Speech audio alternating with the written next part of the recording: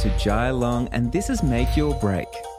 Whether you're a big hearted creative or an aspiring entrepreneur, let's take action on your dreams, reconnecting you with your why and giving you the how. I'm here to dish out actionable mindset tips and fun industry secrets to help you blow up your biz. From eye opening reality checks to motivational gold, no two episodes are ever the same. So tune in weekly, skip the FOMO, and let's dive into the deep together. Hello, hello, hello. Okay, Check, check, check. check, check, check.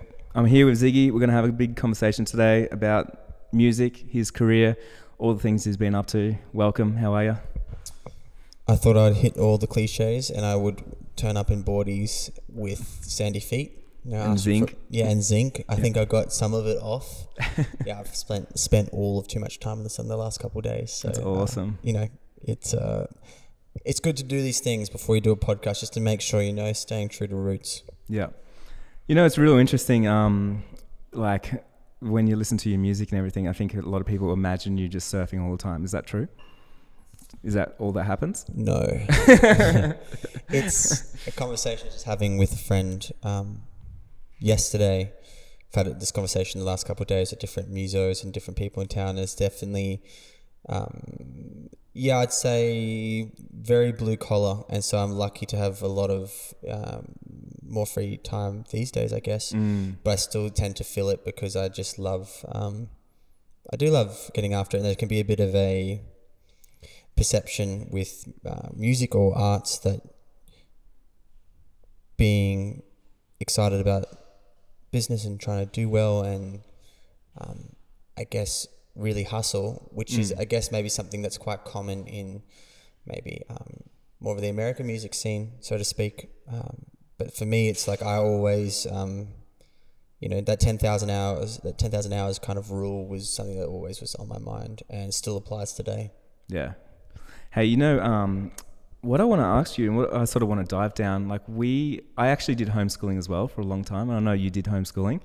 Um, and I actually want to dive into like when you first started your career as a musician, uh, what business knowledge did you actually have, or did you have some sort of naivety that kind of helped you believe that there was no rules and you could go in and essentially create your own label and build your own career? So, just homeschool. What do you think? That's how do you think that's affected your whole career? So I think homeschooling. So I was homeschooled till I was thirteen. Didn't Yep. sit inside a classroom. Um, you know, I do remember one of the first first classes I turned up at, and I had long blonde surfy hair at this time, so people didn't know that I was like the nerd that I was. And so I was, so you know, I slipped into the the system pretty fine. Um, I feel really immensely grateful to have had tho- those formative years, particularly as like you know, in some ways, like in some ways, girls at that age are also a lot tougher and grow up more quickly. Truly, I think that's the case. And so, I think if you're a creative guy, I think it can be um, something that you you could get squashed. You know, because you're trying to fit in and you're trying to amongst your peers. But I didn't have to do that as much. I was lucky to have a big family, very supportive, um, kind of of us being unique individuals, and that was a beautiful thing. Homeschooling gave us this outside kind of perspective where I guess we you didn't know the rules. I've talked about this as a bit of a theme the last couple of days. When you don't know the rules, you don't have to learn how to break them. Totally. And that's like So and that's an immense freedom. gift, you know, because instead of this is the way it's done, this is how you start your career, this is how things have to be. Mm. When you approach it with that um, naivety or the um, innocence and the. Mm. lack of knowledge, it's something that it, you don't have to then say, okay, well, that chord can't come after this chord. I didn't know. I still don't know. Yeah. Still don't know technicality. Still only play by ear. Still only um, largely like I don't know the keys that a lot of my songs are unless someone tells me. Um, I still don't know the rules, and that to me is really important when it comes to trying to innovate because that mental barrier of this is how things are and how they have always been and how they always will be is something that's an immense thing in in I think an immense thing in all industry, but creative. Um, you know, what I have knowledge of in the creative industry has been hugely powerful to not be to not to not know the rules and therefore I did not have to learn how to break them first. Yeah, there's so much unlearning to do for people, you know, because like a lot of people don't realize like when you go to school, you are taught to stand in line, put up your hands, wear the same thing as everybody else. You get in trouble if you do wrong or if you don't do any good in your grades, things like that. And I know for myself, I was never told no or I can't do or I'm doing it wrong or I never failed a test because I didn't really do tests and things like that. And so, you know, for myself, going into being a creative business owner, I find it so easy because I think so different. I don't have to unlearn a lot of things that a lot of us are kind of constrained to.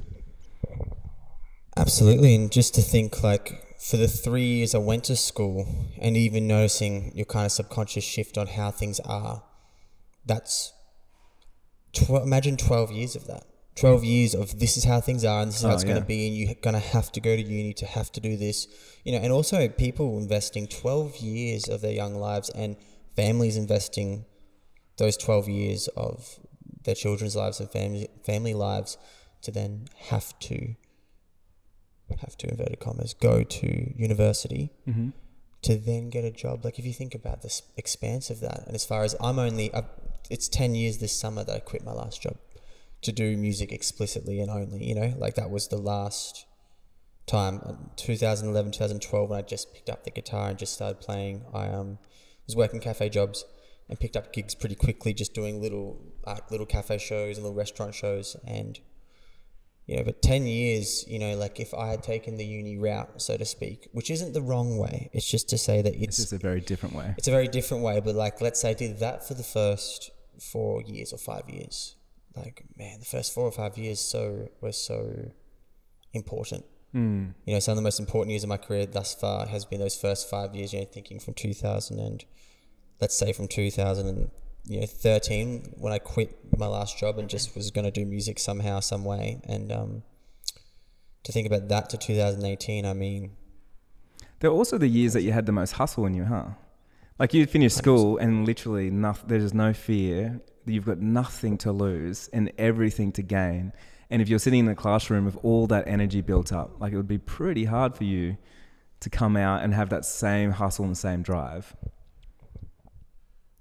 that blue blue collar mentality like this is something like and th- but this is just for for me personally um but you know people still now still now people are partying and I will be there writing songs you know Yeah. like I'd finish the show and write songs and I would do I would drive I was telling one of the guys in town last night I was like I would play a show in Byron at night busk on a Friday night at, at Mocker on Lawson Street and then I would drive to Sunshine Coast or you know sometimes I'd drive to Sunshine Coast play a morning market Mm. and I'd drive back and play another gig in Byron Yeah. on Sunday you know like you know like I was just Because you're hungry for it. hell for leather going Yeah. for it and put myself you know there's something about swinging the bat you know and you just get better you you through that repetition give yourself the best shot you know and I was an on the go learner you know different people learn differently you have to see what works for you and for me sometimes it is best that I don't know because then I have less fear and more perhaps creativity to a situation and that really helped me when I um, it, that was just the way that I naturally learned. And for sure, it's no, there's very few accidents, man, when it comes to music. Like you do watch, you put your best foot forward, and you are, and I have been immensely lucky. There's, there's no question about it. But when you add in hard work and you see, like, you know, Dermot Kennedy comes to mind, for example, who I don't know um, that well, but know his drummer pretty well, Mihal Quinn. And basically, you know, I watched them play to 100 people in Oslo in 2018, maybe January 2018 in the snow. I watched them play to 100 people, and they now are the biggest, you know, Irish act ever. Yeah. You know, and like these guys just hustled. And so there's definitely sometimes I just don't think there's anything that's had that through this. The one thing that maybe has stayed the same through our multiple generations and things that have changed is that there is very for, for responsible um, and ongoing, you know, sustainable business kind of practice where you have a good footing in your chosen career. That kind of doesn't. That kind of putting in the work and it being ten like ten years. I've been hmm. working pretty hard at this, like really hard Yeah. Yeah. and that's why I have what I have, and that kind of to some people it looks like it was an overnight thing, but it's you know just was not at all. As I'm sure you can relate with your. Oh work. yeah, man! It's the overnight success that took my whole life to get that overnight success. Like, it's so funny. Um, when when you first started and you're sort of going into all this, and we're sort of established like your actual background in uh, in education and things like that, just learning on the go. Did you have any business knowledge whatsoever? And what did that look to you? And did it even look like a business, or were you just like, I need to make a thing happen? and that was basically the thought process you had.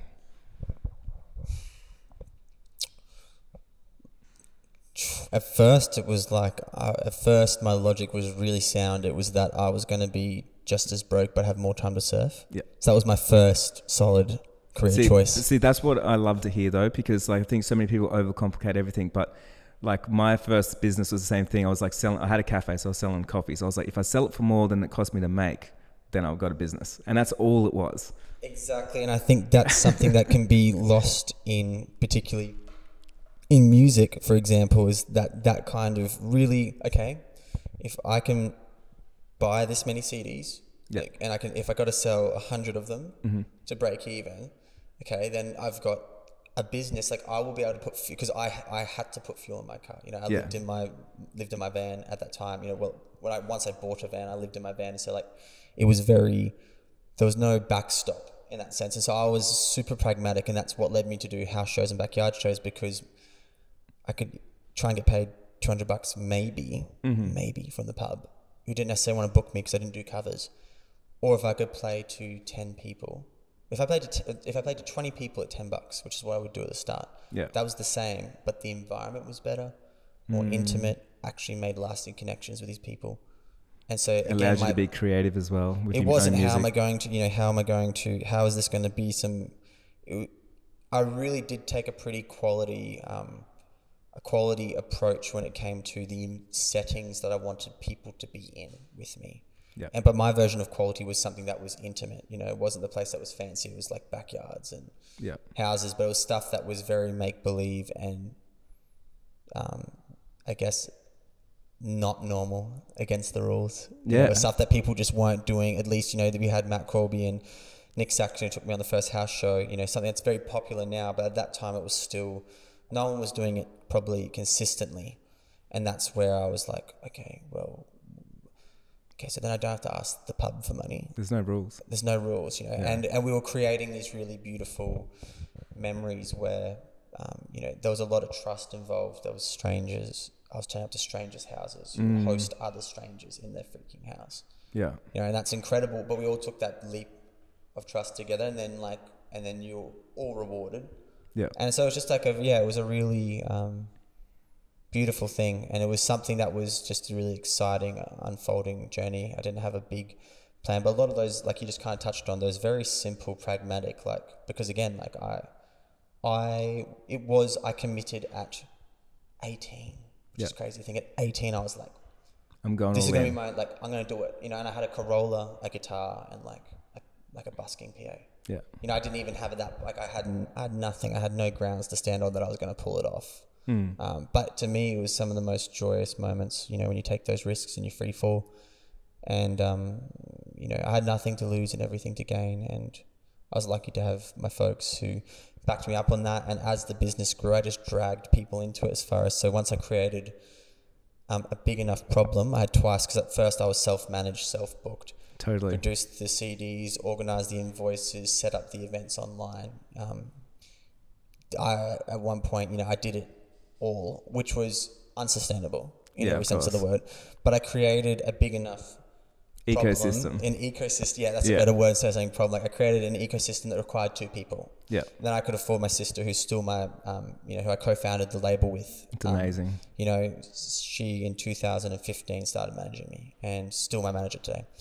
And that's, I created this kind of ecosystem or microsystem enough to have that. And then once we grew that out, got my dad involved, who's had, you know, decades of experience in being an entrepreneur and a business owner himself, um, in IT in particular, which is hilarious. You know, so he, we dragged him in at first on a bit of accounting and then we dragged him in as a CFO and then got the auntie to come in when we started the label and it's just been this kind of, you know, um, Just bringing everyone along the ride with you. Yeah, Yeah. yeah, So I, I, I like my job now is to like provide some ideas, make the mess, go tour, and then you know stay healthy and happy for the people. Yeah, I love that. You know, when um, most people sort of start out um, when they're doing anything, so I know a lot of people will go like, I'm going to go and play at the pub, and then hopefully someone's going to see me play from a record label, and then they're going to give me a deal, or hopefully someone's going to tell their friend that they've seen someone, and there's a lot of hope and chance and stuff like that.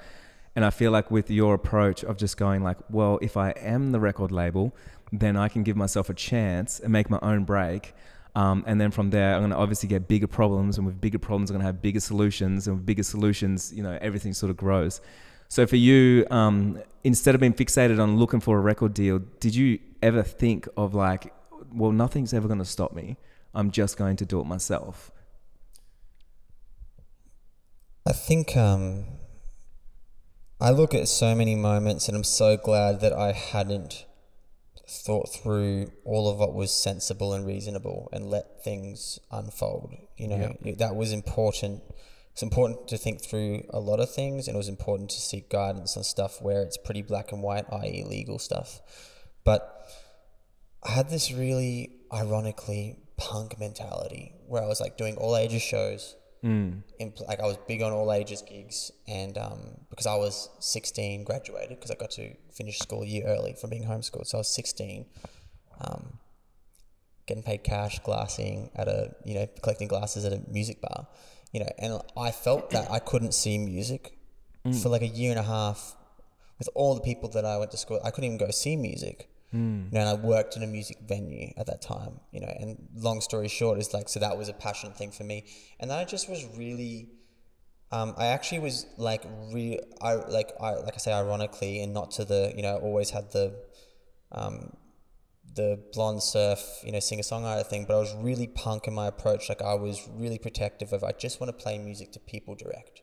Yeah. I want to cut out all the noise the middleman. I didn't want the articles. I didn't want the label. I actually kind of despised that. Totally. And I was like, I'm playing music with my people, and I do not care to have any of you and the toxic industry involved. Yeah. And thank goodness I've been, by necessity, also matured a little bit enough to see it's not all toxic because now we are a part of the industry. We are a fully fledged independent label and publishing house. So now we are and, and working with other independents and you know so it's not all that but at that time i was just really protective and really um, that was my goal was like to play direct to people you know and we were i remember doing um, you know the palais in Yeah, Melbourne, yeah, yeah, you know course. and sold out the palais in like 2017 without radio without Mm-hmm. Wow. any marketing budget That is a without anything you know we're still with like with like I don't know how big our team. We hadn't formed the label, so like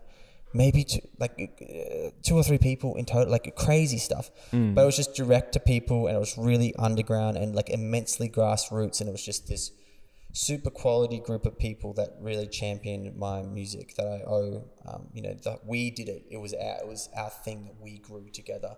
As I just lapped the country, we just kept growing into bigger venues. It was just this kind of um, and so it just wasn't in my interest to pander um, to that. I was just like, because also, this is the other thing, in a really pragmatic sense, what more could I have wanted?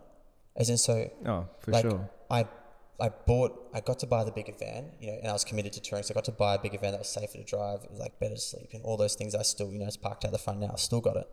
And like, I had that, I was doing something I loved, I was surrounded by people I really cared about that I was touring with. You know, once you know a couple years in, I could afford to have those people on the road. So like, what more did I want? Kind of thing. Hmm. Like I wasn't. That wasn't a stepping stone. That was like everything I wanted. I was achieving by playing to fifty people in a backyard, and I'm lucky because maybe ten years on that would get old, but each step of the way, I haven't been like, oh, this is the one- one thing in music I've had a certain amount of grace that in other areas of my life, uh, for sure, sometimes you like look and you want to do better in this area, and you want to do better in that, and you want to iron out your creases. But when it's come to music, I've largely just felt, um, I've largely felt immensely just blessed, and none of those, none of those steps were things that were just to get somewhere. Yeah. They were the thing. They were what I was going for. Yeah. And as a result, people felt that. And, you know, so my, I've been saying this a little bit of late, but I was doing A for A. It wasn't A for B. It wasn't I'm doing this to get the big record label deal. It's Mm. like I'm doing this for doing this. This is the point. This is the end And game. that's um that's something that was just natural to me. And if in music, not in all areas of my life, but in music was natural to me. And I feel um, grateful to have stumbled upon that because I think I owe, even now, um, what I what I enjoy so much about my career. I owe to that mindset. It's like I'm not like right now. I'm not looking to because we don't know what we're asking for. So I could be bigger. What does that mean? Can I still sleep in my van at the caravan park? Like, what more can I ask for? I played with Jack Johnson around Australia and I'm still sleeping in my van. Like, I have immense freedom, good people around me, get to go surfing, I'm healthy. You know, so we, we must be careful what we ask for because I've also been in positions and you've been in positions where you've got on paper what everyone wants and everyone around you would perceive as the thing to have. And that's that only means so much. You sleep in the same bed at night, Mm, you know. of course. So it's I've been happy to see that early on and been given insight to just how much that is true and how you sleep in the same bed whether you play to 100 people or 2,000 people, you know. And um, so you got to do your your work and your time and your relationships and your balance outside of your career. You have to have those things. Otherwise, it's just those things are nice, but they're not everything. It's real interesting. I've got this. Um, I've like shared this concept before a few places where I've talked about. Um, even though I grew up in like government housing and you know we we just had no money and everything, I've always perceived myself as rich, and so people never really understand this concept. But I've I've always said like, man, like. I, I was rich when I was young. We had so much love. Like I was rich when I got my first job and I was getting paid three dollars an hour. Like I was rich the first time I did my apprenticeship and I was getting five dollars an hour. I was rich, you know, when I bought my first car that was seven shades of yellow. And everyone's always seen me lucky and being rich. But what people don't realize is I was the one that decided I was rich. It wasn't anyone else deciding. And so because I decided it, people believed it as well because well, I mean, what else can you be, right? And so it sounds like the sort of the same for you. It's like, well, I've decided I'm successful when I play to 20 people in the backyard. I decided that, so I am successful. And then from there, the next thing is like, I sold out the Palais Theatre. I am successful. Like, you know, and so as the bar rises, it doesn't really sound like you're trying to chase a bigger thing, but you have been successful from when no one was listening all the way through your whole career, and it's still continuing to go that way. Would you agree on that? I think yeah, like you yeah, you said it really eloquently. It's and I don't know, you know, I've, I've thought about how to, you know, I've thought about how do you ins- how do you instill that in others? Like, you know, I've because I've tried to communicate this. I've tried to communicate this concept of like because I did I just felt that way. I can't say why. I think because if you're particularly music, if your experience with shows, if it's based on a numbers game, let's say with people, then the more people, the better, the more successful. But if it's based on um, something more personal and something that involves a quality of connection, or perhaps it's how you've managed to unveil more of yourself in songwriting. I was I wasn't in Germany playing to you know 20 30 people in this DJ lawyer's house in Hamburg. Chris was his name, who's a legend. yeah, Chris, super dunker. Um, I wasn't there on my first show in Hamburg going, No one's here. man, I can't believe there's 30. I was there going, there's 30 people in someone's house That wanna other hear side of the you. world, you know, and like, and so that's a, Yeah. that's man that's it's so powerful when that's the case and like i said i feel so and i don't know i think you know upbringing certainly helps and it just it it i think for a long time i've just known that you can play and maybe those that run in 2017 where i was just really burnt out like immensely burnt out too hmm. been going too hard too long and it didn't matter. That was such a blessing in hindsight because I was playing to thousands of people, sold out the best venues I've ever played, and I was like, couldn't have been more unhappy. It was the biggest cliche in the world. I was just so broken. I wasn't even unhappy. I was just void of um, life force, you know. Mm. And so it didn't matter. It made it worse. So it's like here is these people, and I don't even feel like I can give as much as I want to give to them right now. And so then, then what does it matter when you've got three thousand people there? And so I guess that's where, as soon as it becomes about numbers, you know, as soon as it becomes about the amount of people, and I mean, there's people who do, there's people doing better than me all the time. There's people, you know, like there's there's people I know who are doing who are doing better than me on all sorts of, on all sorts of levels. But like again, I we ask, we th- we ask for one thing, and we don't see the world that we're asking for. You know, we hmm. ask, we can ask for so many things, and we ask for an aspect. We don't ask for the whole picture. And so, like, I still have my freedom right now to like be here on the north coast, just cruising, literally cruising in my van, which is still something that's immensely that is my freedom. Yeah. That is a part of my freedom. And if that was taken away, I would have to learn to adapt. But I'm so happy that I can do that, you know. And so to ask to ask to be, let's say, um, I know even more people in Australia knew. Let's say, let, let's say I was like, oh, right, three or four times the amount of people need to know in Australia. Like, would I be able to do that, or would I have to live somewhere more private? Would I have to be a more private person? And so, yeah, I think maybe I'm just going through a phase at the moment where I'm like, be careful what you ask for because you might, uh, you, I think you are, you think you know what you're asking for, but you might, you might not. And Well, you know what's interesting? Um, it's funny. Like I think I feel like we'd both share this, but um, people like yourself, I've met quite others with the same kind of mindset, but we're always more scared of success than we are of failure. And so it's so interesting, and not many people understand this. But failure, there is, you're not scared of failure because I mean, you how can you even fail unless you give up? Like there is no such thing as failure, right? Like you you're gonna keep going up, and you're gonna do the show and you do the things. But then success, like we think about that more so because it's like, oh man, that's going to change my life. Or I don't know how to deal with it because I've never seen it in my life. I've never seen anyone that I know being that successful or like whatever it is, right? So then it's a whole new path that you have to forge yourself. And it's so scary. And I actually see a lot of people, and this is including myself, I hold myself back a lot just because of that fear. And I, and I recognize that in myself. And I'm always continually thinking, like, how can I get past this? And I know it's simply the fact that I just haven't seen anyone do it before, and I'm finding that hard.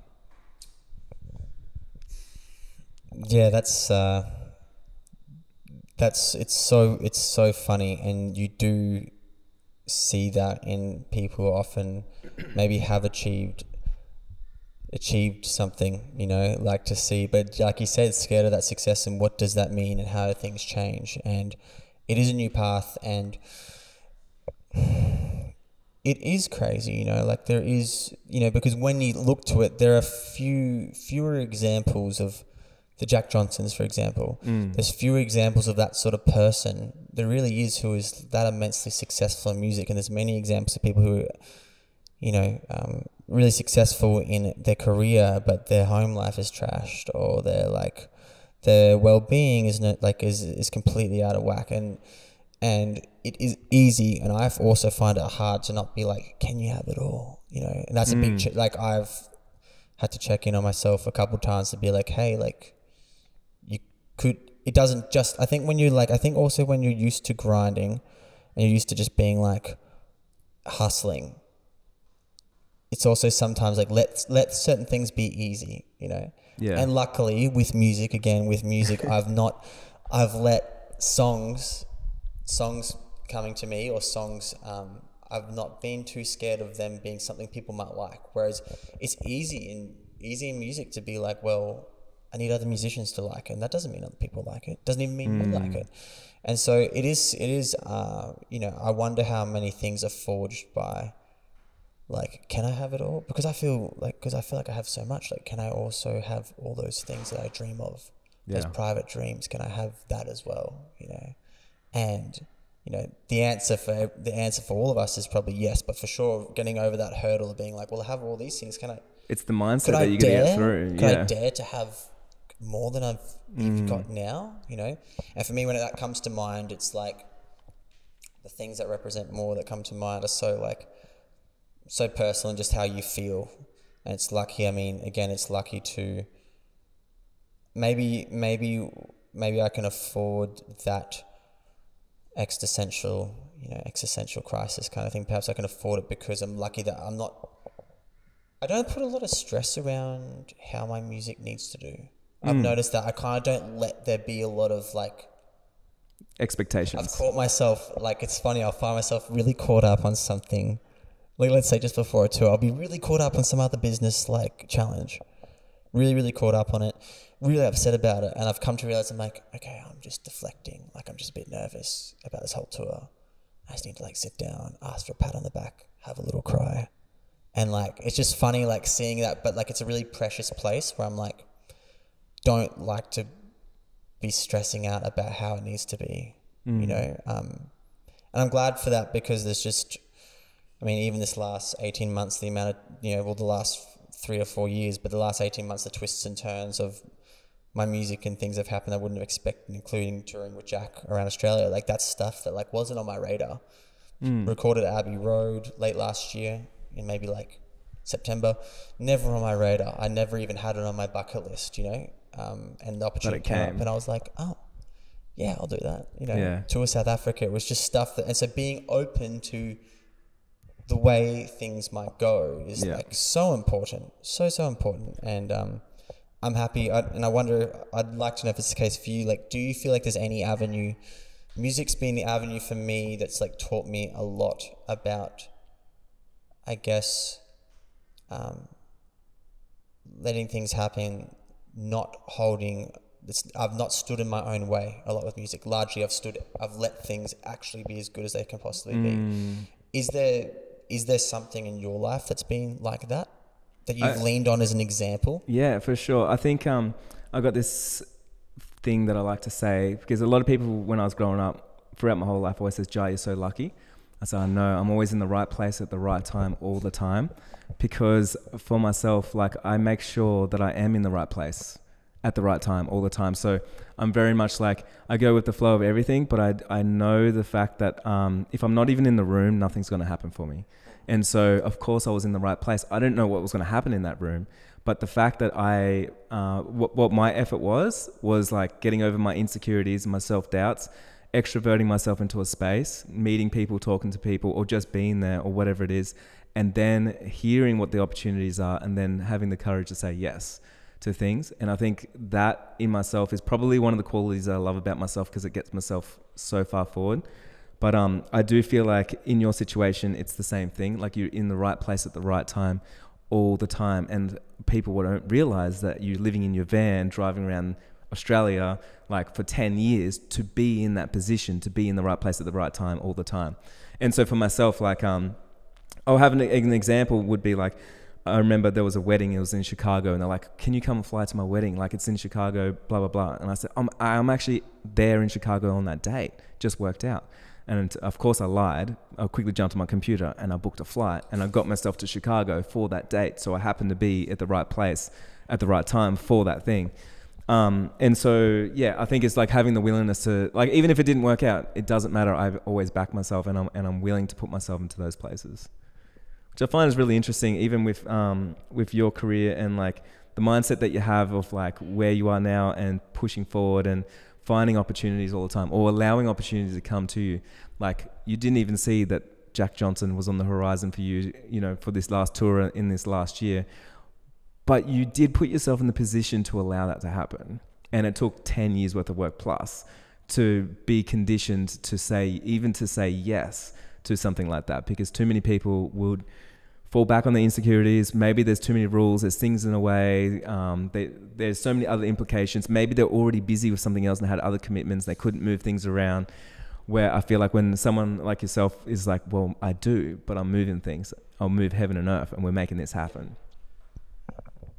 That luckiness, I think, would be a common tying thread. You know, my one of my favorite quotes my sister has as, as a sign off. It's probably my yes, if not one of it's it's in it's one of my favorite quotes of all time. It's by Seneca, um, this Stoic um, writer from from eons ago, and it's uh, luck is where opportunity meets preparation. Yeah. And that for me just says it all. And when I say I'm lucky, I mean it in both. I feel I've been like, you know, You're blessed. blessed, and I equally feel like I had prepared, an opportunity presented itself, you know. And I think like a fun, a fun, a fun story that's very vivid for me was in 2015. The first time I went to Europe and went on a, was it on a backpacking trip with my family? Something really specific. Maybe we went on a backpacking trip to Europe. Mum was coming. Mum went back to Hungary for the first time. We all went, and basically took my guitar, box of CDs, my backpack. I said, "Hey, I got a free weekend. Would anyone host me in Norway? Um, just do a little backyard show." And basically, you know, the years prior, the two years prior, 2013, 14, 15, I'd been primarily busking in Byron and playing these little cafe shows every night, and playing the Northern front room, you know, nine till twelve on a Monday or a Tuesday, and you know these and the sisters would come along, and one of them was Amelia, who's now you know, um, you know now a good friend, and they would come along. She worked at she worked at one of the other stores, and that was like the locals would come down on like a Monday or Tuesday because everyone's working hospital over the weekend. They'd come see these shows, and she reached out when I put this post up. Hey, like I can come to Norway this weekend. Would anyone host a show? And she said, Yeah, I can. Would love to. You know, and when I realized who it was, like this is a familiar face, fantastic. Halfway across the world. So fly there, and we're on the train to Larvik, which is about three hours south of Oslo, to do this house show, which to our knowledge was the first ha- house concert in the like town that had ever happened. And In the country. Yeah. in the yeah, let's say in the country. We'll fact check that later. Yeah, yeah. it was in Larvik, to our knowledge, you know, like this Yeah. little this little coastal town. And on the way there, I'm there with um, you know a colleague of hers, and we're on the train. And someone the following day has cancelled at the festival that's that weekend in Oslo, and the person I'm on the train with is Amelia, and um, no, Amelia's in Larvik. The person I'm on the train with, who's like assisting me to get to where I'm going, his cousin's the booking agent for the festival. And he goes, Well, I'm actually on the train with this Australian artist who's doing this backyard show. And so next thing you know, I'm playing this Norwegian festival and Wow. met the person that then I booked my first Norwegian tour with. Like, and that all happened trailing it back. That was all because like I decided to turn up and busk. Yeah. It's because I decided to do that, and from literally playing on the street, that was how Mm. that happened. You know, like that's that's, That's crazy to amazing, think. You right? know, that's crazy to think. You know, because you, You happen to be in the right place at the right time right at place, that time. right time. You know, and that's one of the best examples I can. yeah. I mean, that's one of the best examples I can possibly. You know, there's actually too many. There's too many of those. I feel like Your whole career be built on that, wouldn't it? Exactly. Yeah. And so it's um that just is me just I think confirming that that mindset of you know where you where you feel you feel lucky and you also like it's like I said I would like nothing more if there's any like true like path that I have is I would like to take and I've been reflecting a lot on this 10 year mark like those things that are very natural perhaps your approach on luck Mm. and what you tried to do with business, those very youthful things that were kind of like kind of brilliant in hindsight because it, it, it but you didn't know you're just No, going of course for it not. and those things man the older you get the further you get into your career you have to keep like unlearning Yeah, and reinventing that- yourself. you know yeah Keep throwing yourself back into it. You know, like Yeah. um, one thing I've noticed lately is um, with people that are super successful, that I believe in, in my definition of success, to let's say someone that's sort of struggling a little bit more. The people that struggle always say like, "What's the ROI on this? How much money are you going to make back? How are you going to make money on this?" Like that idea, like who's going to pay for it? And they're always obsessing over these things. And the people that are super successful, it's always like, "Well, I'm going to do the thing regardless," and then the thing's going to work out. And I think about that. It's like you went busking. You went literally on a train in the middle of nowhere to go to probably play with 20 people in the backyard where most people would be like, why are you doing this, right? I would have definitely like if I think financially booking a flight like I don't even know if there was No, it didn't work out. like I'm saying it wasn't it, uh, on an economic level there, it made no sense no whatsoever sense. Yeah. And so, like, everyone that I know that's super successful, they do it regardless, and it never makes any sense. And then that's how they get into this space where they happen to be in the right place at the right time all the time because they're not looking for ROI. They're not searching around looking how they're going to make money out of this or looking for anything more than like, I've got a calling. I've got to go and do this. I'm serving people. That's my purpose. And from there, there's opportunities that always come your way. Now, I think it's just such a beautiful thing. And it's, I think as human beings, I don't know why, but we always look for threads in conversations with successful people that we deem successful. And we always try and find the common denominator so we can sort of follow that path. And for me, it's the thing that I've noticed. No one successful has ever asked me, what's the ROI on that jar? Why would you do this? How are you going to make your money back? They always say, that's a dumb idea. Definitely do that. That sounds amazing, you know? And they just know it's going to work out. As long as you're passionate and you're, out, and you're out there making something happen, it's going to work. I think it's that intrinsic value, you know, the that someone actually is pursuing it because it would be something that would um, it's something that has to happen, you know. Makes me think about the little poetry book that I put together.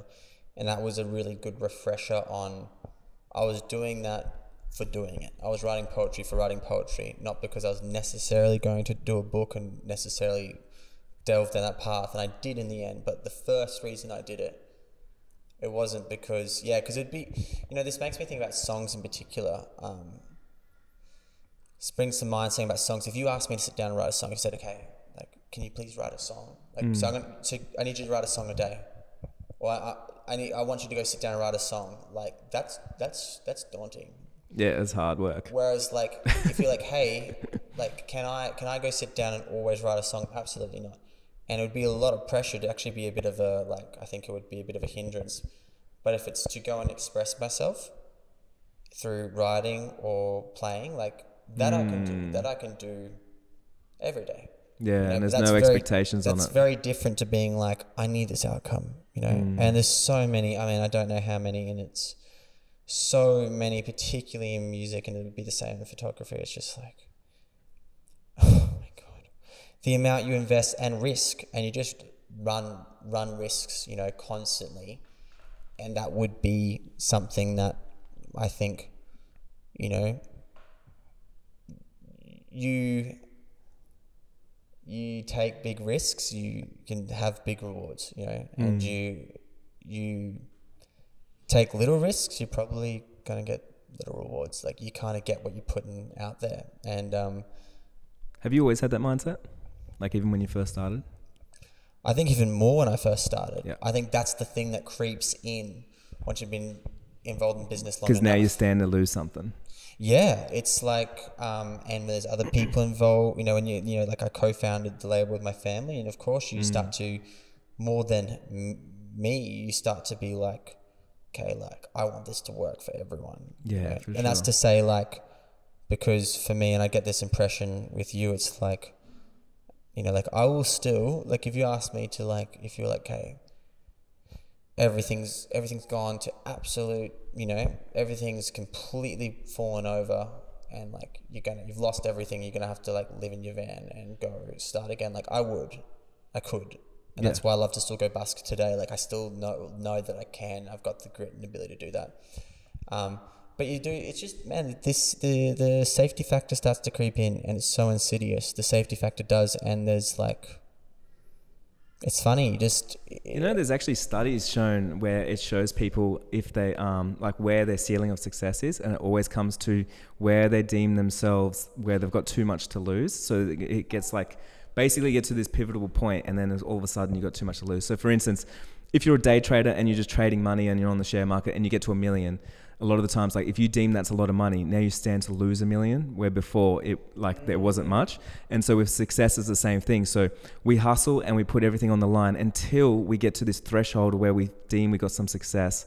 And then from there we start it we um the driving factor is it's harder to and scarier for us to lose something than it is um, to gain something like the reward to gain something a little bit more. So for instance if you're like and it, uh, it comes back down to this if you're down to your last hundred dollars and i said to you like hey i've got an opportunity here it's 50-50 you might lose the 100 or you could double your 100 most people will say i'd rather not lose my 100 than double it because if i lose it i stand to lose like tonight's dinner, where I'm going to stay, everything else. But if I gain 200, it doesn't do much for me. To be honest. And so when you get to that level of success, it's like I could gain a bit more, but if I stand to lose everything, I mean that's a lot. And so people that get the tremendous amount of success when we see like A grade celebrities and things like that, their threshold is much higher where they're willing to risk more and more. Or so, say for instance someone like Elon Musk, willing to like he gets a hundred million and that's not even enough. So then he just like keeps risking, gets to a billion, not even enough. Got to a hundred billion, it's not even enough. He'll probably get to a trillion because in his mind he hasn't made it yet. And so he stands to gain so much more than he loses. Mm. Yeah, I find it fascinating. It is. It's really um it's funny how to me it just keep it ties back to this um this thing of safety and also your confidence in being able to go and to be able to go and make it again you know if you're like oh man i just think i make this conversation just makes me think to like the amount of the amount I had to lose, like the amount that particularly, and this is why mm. people sign to major labels, is because when you got to front a tour, yeah, or yeah, front the footings for your um, for your next album, for your next album, and everything like that. Merch, and anything. It's so funny because what it takes, and this is probably the same. I can imagine being in a lot of business, but it's like I've talked to other people about. It, it's like, for example, the ten grand threshold was something that was like, if you could somehow save up enough and just not spend it on drinking, don't mm. spend it on mm. drugs, just do your work, get out of there. Like you still get to have a couple of beers if you want. Just don't be silly, you know. Mm. Like go do it. If you could get to that point, you could get the CDs, you could get the flight to Europe, you could do this, and you could just reinvest. It was just funny. There was just this threshold where, and then you could keep reinvesting it in again and again and again. But if you didn't get to that threshold, then it was just always. Then you get the loan, and then you just were just. Mm. And that's not to say that's the wrong way to go. It's just to say that like oh man, like if I think about there's there's risks I can't even discuss that like I look back and go, man, I was great, but I had I had nothing to I had nothing to lose. Yeah, there's nothing to lose. Yeah, and that's that's the thing to retain, and that's the thing that's I think immensely challenging. To do you do anything right now to sort of re-spark that for yourself? You know, in your own mindset and everything. Actively. I've just been reflecting a lot before um, the next big, like the rest of the year, which is with a lot of touring and a lot of shows. And I've just been reflecting upon the. I've been reflecting. I've been just reflecting a lot about the th- things that we're talking about now, and mm. again, taking opportunities. Like you know, bumped into you busking hilariously. Yeah, yeah. As we bumped into the beach the other day, which is why I'm here talking to you now. Case in point, it's Short answer no. I am, however, I am reflecting upon those moments that you have that are um, your initial reaction before you grew up. Your initial reaction mm. is probably something more akin to like your inner child about like I got nothing to lose. That's still the case today for you, for me, like mm, you know, and sure. and lucky and look, and people have without a doubt, and people have way when you got like little mouths to feed, for example, when you got a family like that's like I said, like seeing all the people around me who do have families, like it's a different level. Like as far as it's a different level, and I'm still um, at a place where like I'm not. But what I can what I can understand in small passion, these people are grown adults; they can look after themselves. But I do feel responsible to my family. I do want mm. my hmm. family, my friends who work at the label. Like I want us to have the best thing, you know. Of course. And I'm reflecting at this point upon shifting and re engaging because it's easy, man. It's like it's so easy to it's so easy to start um, taking minimal risk options, and part of your soul just dies. Yeah, he's like you, you, and you know, well, it's just that the you receive. You, also, the second you take anything for granted as well. Yeah. Hey, get Absolutely. comfortable. You know it's gonna work. You walk out, you play a song. You know it's gonna work.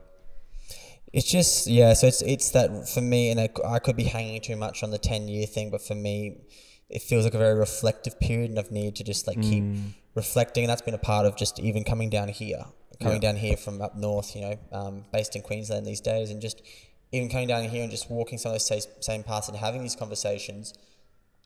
I know, okay, it's not like like I was. I didn't didn't put out a hat busking. There'd be nothing wrong with it, but I didn't put out a hat busking on that. Like there's no besides a nice little clip for social media, there's no like I just really like doing it. Yeah. But what I like most is when you put yourself there, you get to have inspired conversations, and someone will say something, remind you, or you know, um, yeah, re-inspire you or remind you of something that you've forgotten, and that's like that's where I'm at. And the thing I take from this conversation is just like, what exactly do you have to lose? Is the big question for everyone. You know, it's like, what do you, re- what, what do Well, you? hey, have to what if you lost your passion? I mean, you stand to lose that if you, That's- if you don't keep pushing, and then that could be the death of everything. You're like a Buddha with bangs, man. So, I'm just thinking right now. I'm That's- like, what if do you that's- stand to lose? I'm like, if I lost that, if like, that's I, not your new Insta bio, Yeah. five minutes after we're done here. Buddhas with bangs. That's you know. Anyway, that's our new venture. Um, no, it's man. You're right. That is the that is the scariest. because that thing. will that would not only would your family like your family wouldn't actually care if you lost money and if everything lost because you know things move on but if you actually lost your passion for what you're doing i, I believe your family would actually care so much more Oh yeah. I'm if it like, turned into a machine they i'm so i'm so lucky that i'm so so lucky that they like and that's something i'd say you know um you know surrounding yourself with people that care more, more about you than the thing that you're selling or Yeah, the product or the song you know like people and formatively particularly i think the crowd has cared like the people the people that i grassroots grew this whole career with in the crowd, they cared. I feel they cared about me. Really, they did. Like it wasn't just about that song or that tour. It was like, and when you do that, you just like you feel so um, it just feels it just feels so beautiful, you know. And I'm really lucky. That's pressure for me. They're like, hey, if you hung up, they're like, hey, if you need to like stop, stop, like we like don't worry about us. Like we're besides the fact that they're like um like they they more look up they more look after me i like i'm i bring the ideas i make a bit of chaos a bit of mess you know and they're Yeah. the ones who like these days more and more Reorganise iron- ironically i'm becoming more of an artist further I go into my career it's I've gone from, like, awesome you know, an all-in-one kind of person to branching out, branching out to being like now I, I'm more and more, more in your superpower directing and artist. Like that's kind of where I'm at. I'm like have um, immense help. So you, that's wow, yeah, that's Well, you know, another thing is like when you stand to gain, like lose something. Um, a good story that I heard was Matthew McConaughey, and he talked about how he, he was like at his peak at doing rom coms, but he was sick of it. And then he got an offer to do it for like I think it was like five million, and he said no. Then it, like the next movie, then it was like ten million. Then it went to I think thirteen million, and you might need to fact check me here, but I think it went to eighteen million. And he was like, I can't believe they're offering me this much money, but he was wanting to say no, so then he could go in and reinvent himself in his career and everything. And I think about that story because so often, sometimes we need to lose something to get to the next level of ourselves. So, like your career, you need to lose something. You need to lose some money. You need to lose s- something that you're doing now that's not serving you, or um, like whatever it is. And then from there, it'll give you the space to be able to like ask the universe for the next thing and give yourself that space because you know nothing's going to happen for you if you just keep pounding every single day, touring, doing another show, doing another show, doing another show. And it's not until you have the breakthrough moment of like, oh my God, I stand to lose something. I could have lost something. I did lose something. I need to change something. I need to reinvent, rewrite, redirect, whatever it is. And then that's where your next level will be. I think about it makes me think about when I stopped touring in 2017. Yeah, I remember I remember the conversation um, with my sister and my dad, um, and I was like this pre-label, you know, but I was like, I need one week. I was like, I need a week. Like I'm losing it. I need a week. You know, and Annika was like, you know, she was like, are you sure you need a week? Because she was like, she had this huge offer, the biggest festival offer I'd had on the table, and you know, and what, and it wasn't sure if we had, because we didn't at the Wow. time have the, to go push it back a week, you know, which in the end everything worked out, of Yeah. course. But I was like, I need a week, like, because I'm losing my, I'm losing my mind here. Like, I need, I need Wow. to just stop. I just need to stop for a week, and and it was funny in that you know I took some time off, had some had surgery on both my eyes, and so I took a pretty big period of time off. It might have been like, it might have for touring wise, it might have been eight months, the longest I'd ever taken, right? Eight months. Wow. Which is, you know, which is like, so here you are, you've grown things, you're playing the in the middle of your career. Eight months off is a big deal. River, uh, not River Stage, sorry, it was QPAC Theatre in Brisbane. It was, you know, I'm playing, sold out, like people finally coming with offers, vultures, and you know, yeah, that was my vulture sign. Um, yeah, yeah. The vultures are coming in. Um, Seagulls are everywhere.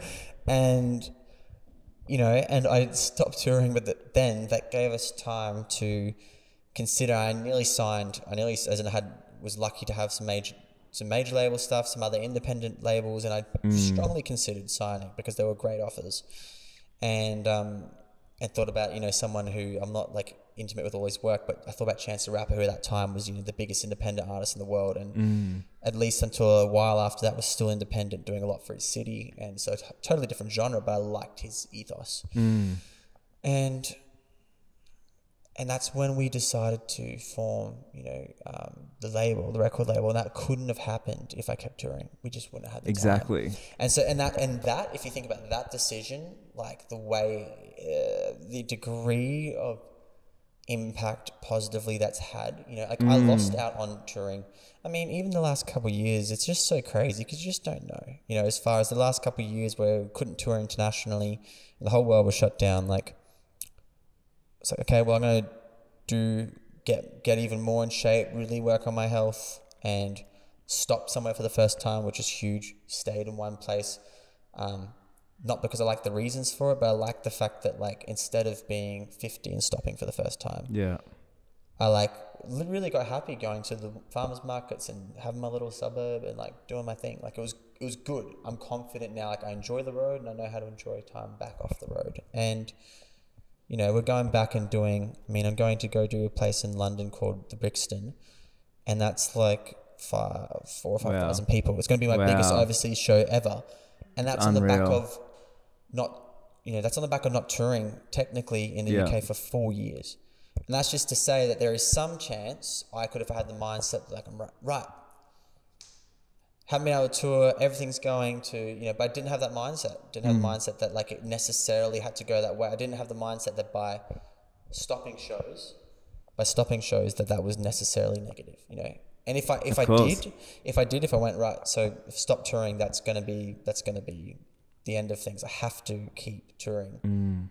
Um, if I did that in 2017, I wouldn't have formed. We wouldn't have formed the label, and I wouldn't be. I wouldn't, which I think I owe. So it's funny because you you directly like know this experience of like letting go of something to to bring in a whole new something bigger, and you're in a space right now where it's been ten years. You're you're reflecting right now. You're on the road. You're doing all the things, but again, like you're probably thinking and working out and all this downtime when you're just out there surfing and everything. It's like I know that just pound like what got me here today is not going to get me to where I want to be tomorrow, and so right now there's got to be something that changes. Yep, I think the the it is easy. I mean, it the thing you really stand to lose, like you said, is your is your passion for it, and you have, you know, it makes me think about it makes me think about those important times that maybe they just come around X amount of years. You know, like makes me think about 2015 was a pivotal moment because I remember really having to get clear about like what I was doing and what kind of why. And then I got clear on it, and it was like you know, it was Yeah. a, a real challenging moment, and that's where I'm in this little bit of a void at the moment, which you know, thankfully makes me think of shout out, you know, shout out Mamakin, um, Danielle, who I bumped into when I was in the desert on a surf trip in the northwest of Australia just uh, um, about six months ago. And she's like, "Yeah, man, you're just in the void. You just gotta like, just, just don't rush out of it. It's a beautiful place." And I think, um, with wow, a big that's thi- that's yeah. amazing. and you know, and I think with such a big, with with tour up ahead of me, and again this very reflective time, uh, just getting clear on what you stand to lose and what you keep wanting to like bring to the world with music, because I do think it would be enough to say like I just want to go. I think one of the ultimate things is that it makes me happy on a deep level. And I feel like it's contributing to the world in a way I feel like there's a net positive result that people might feel heard. Like that would be enough. That's en- that's enough. That's probably the reason. That's probably like when you start peeling the onion. That's probably the reason for music. Um, but getting and feeling really clear about that, and seeing when you, seeing what does totally dim that passion. Trying to avoid, trying to, to not go down those paths where you feel like you're just Cut like that bit dying out. slowly. You know? You know, like, well, most people don't cut it out because those are the bits that pay money.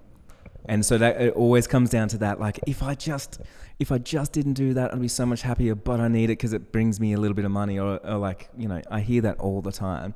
And so the one of the ruthless things, and Morgan knows this, that I do in my career is like I'll make a lot of money doing something, and I'm the first one to go like, "No, nah, we're not doing that anymore." And my team's like, "What do you mean? This is what the thing." I'm like, "We're just not doing it anymore," you know, like, and that's the end of it. And everyone always thinks that I'm mad, but I'm like, man, the madness is if I lost my passion for what I'm doing every day, because then it's all over.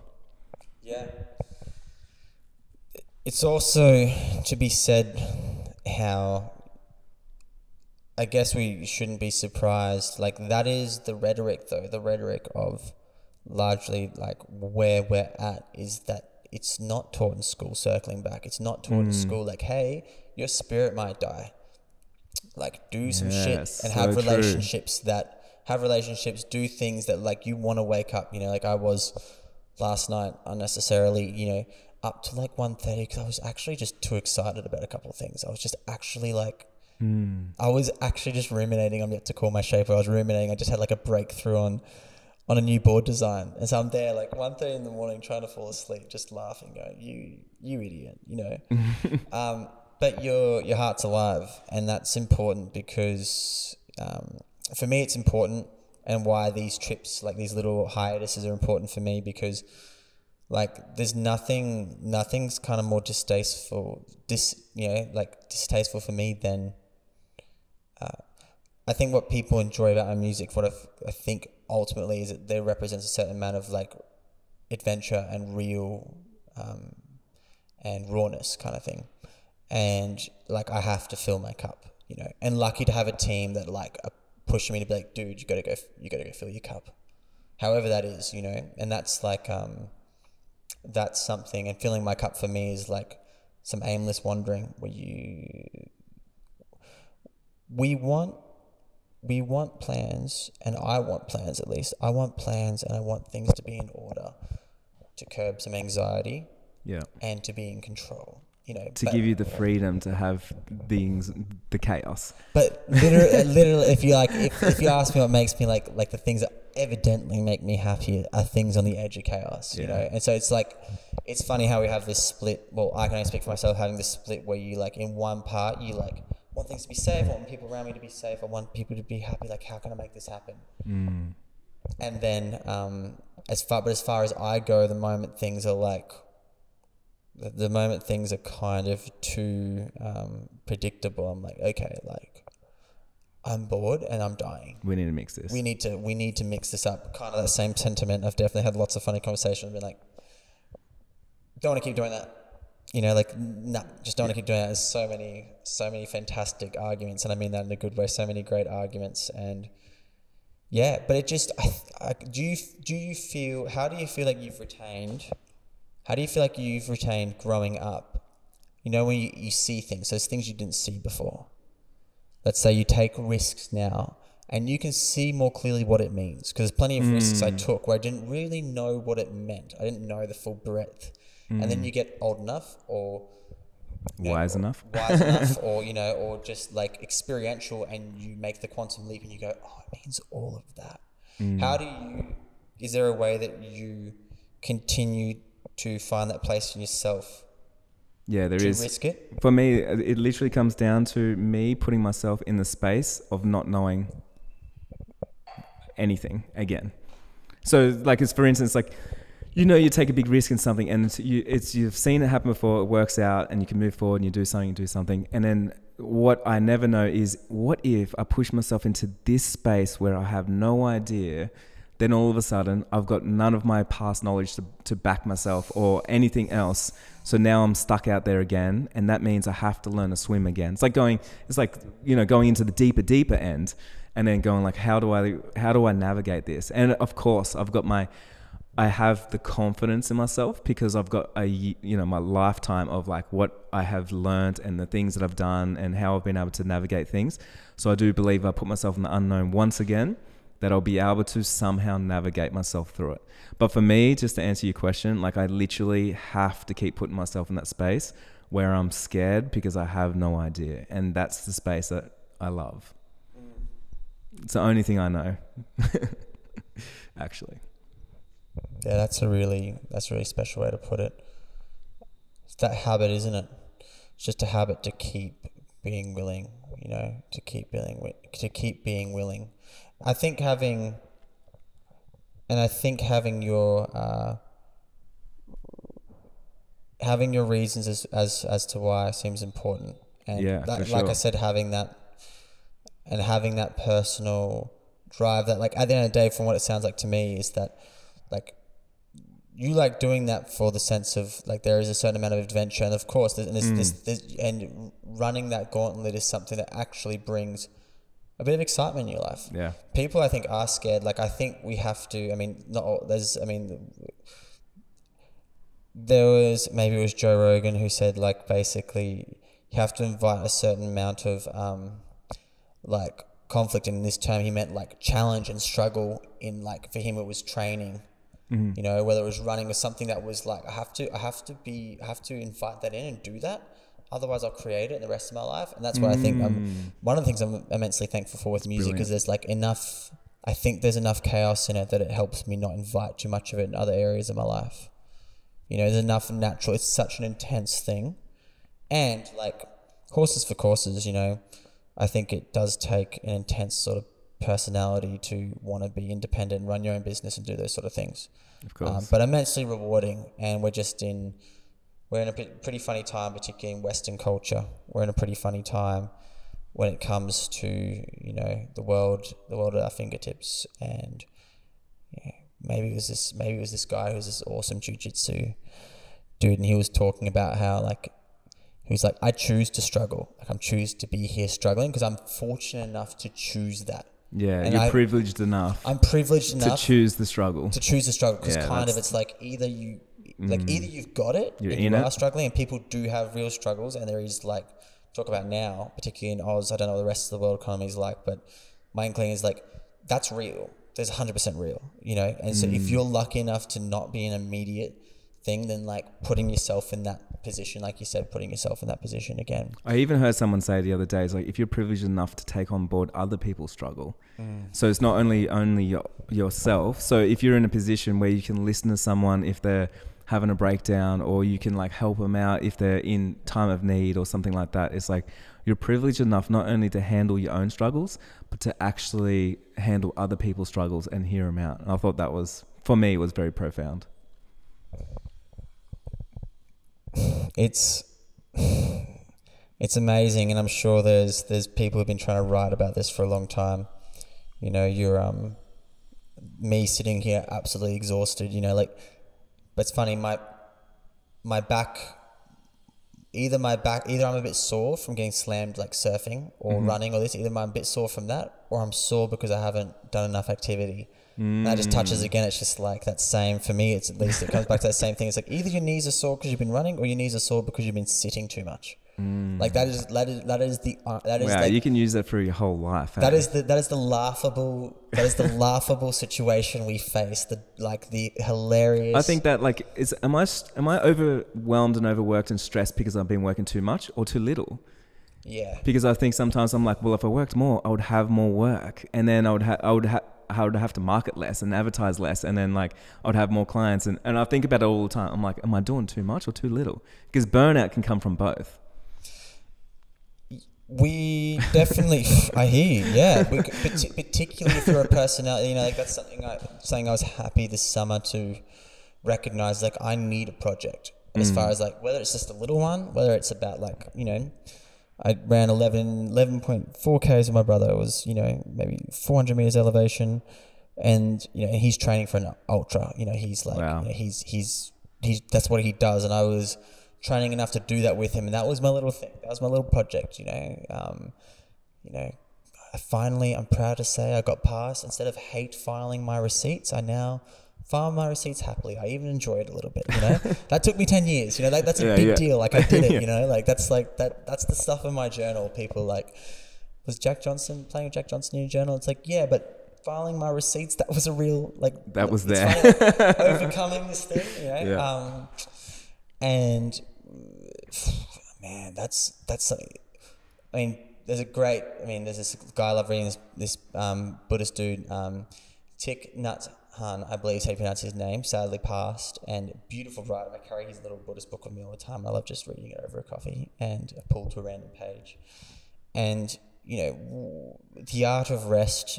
I have so much free time. Seldom am I restful. I technically have a lot of free time, Mm.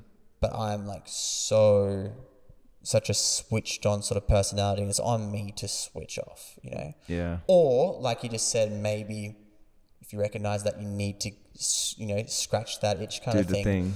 You know, I've sat down yesterday and started transcribing part for a new poetry book. Like Mm-hmm. that for me just brings me such such a cathartic thing. It's technically work, but I'm like, but it makes me feel like okay. Well, that's what I mean. And so then all of a sudden, it's like you're burnt out because you're not doing the thing. And then when you do the thing, you're like, oh, I'm back in the zone. I'm back in the zone. I'm yeah, tired. I'm doing the thing. yeah. stressed. at least I I'm have that exact same personality, man. Like exactly the Oh. same. I love it. I love it. It's true. No, it's um, yeah. Our knees are sore when we run, and our knees get too sore from being sedentary. You know, so we, we must find you know that. But the art of restfulness, man, it's something I'm something I'm hoping as uh, time passes, I get a little. Um, uh, that's you know, it's fun to have these things. You know, those are the things I think that keep your passion alive. Is these little could just be you know like getting past my receipt my receipt issue, man. I just let them pile up, and I was just so against them such resistance to them. That's like a big thing for me, you know, that makes me really happy too. And people just be like, Are you sure that's a big thing? It's like, Yeah, it's a big thing, you know? And so it's like having these very trivial little milestones in your life too. Mm. Yeah, and far out, the people you see, gosh, you know, the people you see who really, you know, your health, like your health and your, um, like happiness is too broad a term, but it's like, but in, in the very least, your health, in a really holistic sense, when you're pain free, you know, when we're lucky enough to be sitting here, not, you know, thinking of, you know, shout out to my younger brother Rourke, who's, you know, um, was living it, you know, and he's never done his ankle skating. He's like, you know, incredible skater. My stage manager, and he just fractured his ankle in two places on his birthday, on a birthday skate, you know, and he's just one of the most freakish skaters you've ever, you know, ever seen. But it's like, that makes you, for a moment, think. It doesn't make me think he shouldn't have gone skating. I think he, No, he must, he had to, he Has to do the his thing. Yeah. has to do the thing. Yeah. There's risk involved, and he's going to go do it. And lucky Mm. to have parents that literally didn't want us, like, for example, were like, we don't want to risk you in the system, Mm. but they'll like go and clear the stairs skating at like seven. you know, like they'll like go Yeah. do it. You know, like so happy to have that combination, but. Yeah, it's always nice to return. Sometimes I find myself with a lot of mental noise, and I'm like, okay, like, am I in one piece? Like, can I? Am I like pain free? Like, that's in the in the sense of like, am I not just dealing with anything chronic? You know, how Mm. many people you see who are dealing with that? So it's just, uh, yeah, those those little things, balancing those things out. They are, man, so lucky, very very lucky. Ziggy, thanks for being on the show. Joy, a pleasure. Thanks for having Good me. On. conversation. I feel like it needs to be. Um, we need to catch up another time. Let's do it post tour. Yeah, can finish. Post tour. on the world tour. We'll touch back in like yeah. eight months or something. And I feel like you you have a complete different outlook. Like, oh yeah, nah, man, I just want to go and never do nothing again. maybe I'll have. I can maybe have like a mohawk and nipple piercings, and we'll just see like you know. And I'll and I, what I'll do is Change your music. I'll come on and I'll be like, man, I'm you know like I'll come on and basically be talking about how I'm just ready to totally quit it, go back to surfing, and that'll last for two months, and then I'll be ready to do on tour again. Yeah. Thank you so much for being on the show, man. I'm going to share your links and everything down below so everyone can find your music and they can blast it in their car and everything else. So talk to you soon. Thanks, Joe.